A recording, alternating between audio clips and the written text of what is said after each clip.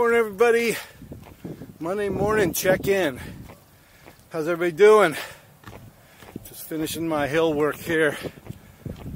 this is my new frenemy now that I can't go to Minnie's House of Pain for my uh, morning workouts with Vince and Gabe in the Breakfast Club.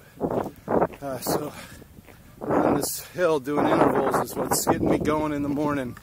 Hope you all are doing something to keep busy too. We all got the news yesterday that we've got another 30 days of this social distancing ahead of us.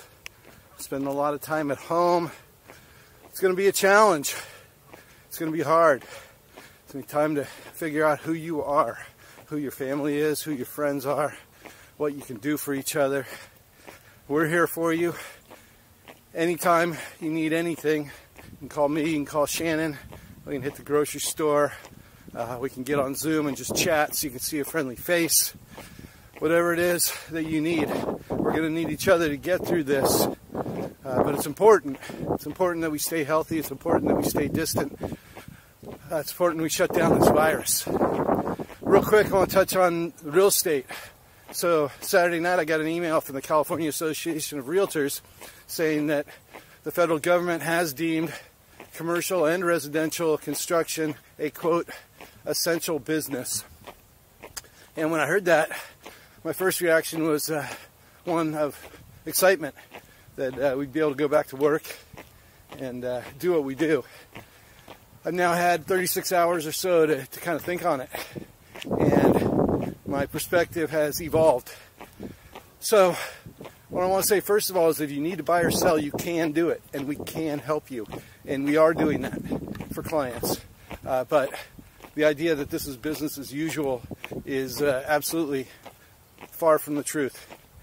Uh, when we talk about things that are essential, there's nothing more essential than you, your health, and shutting down this virus. And that's got to be priority number one, no matter what. So, with that in mind, there's things that we are doing and can do to help people view homes, to help people transact on homes, to help people sell homes. Uh, we've been working knee deep in technology for years, so none of this is really new to us. Uh, so we're happy to help you. We're happy to consult with you. We're happy to talk to you about what we're doing and, and how we're doing it and how uh, you might be able to take advantage if you need it. But a couple things I want you to keep in mind if you are selling your house with us or with someone else, or if you're looking at homes with us or with someone else going into someone else's house right now. Uh, not advised at all.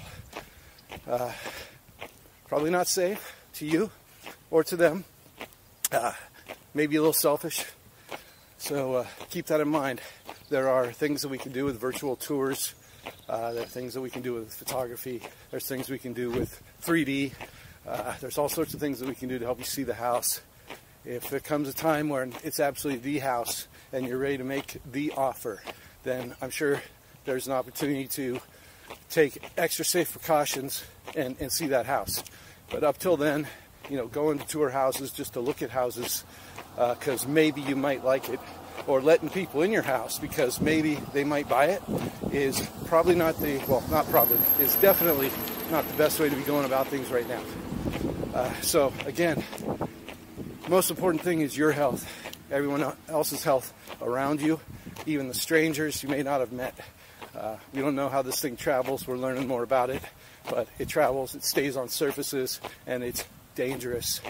So let's make that our first priority. You shut down this virus.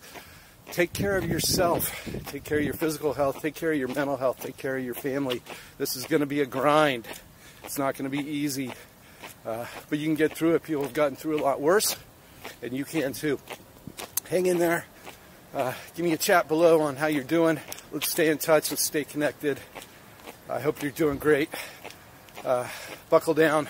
We'll get through it together, all right? Take care of yourself.